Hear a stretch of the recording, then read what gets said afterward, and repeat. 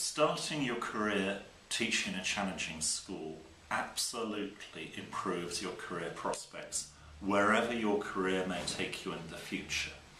And that's not just theory, that's proven experience. The participants that have graduated from the Teach First programme have all gone on to wonderful things. Some have become social entrepreneurs, uh, they've uh, set up their own charities, One's actually uh, running a whole set of schools that he has founded across Uganda.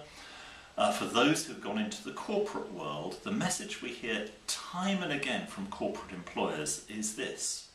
We know that the Teach First participants that we hire start, as it were, two years behind all our other graduates because they've spent two years at Teach First.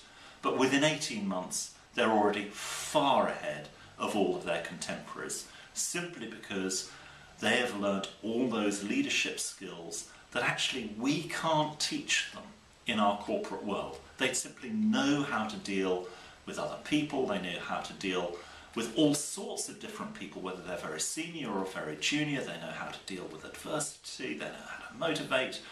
These are fantastic lessons that simply set Teach First or Teach for Austria participants far apart from any of our normal uh, employees. So is teaching in a challenging school a great career opportunity?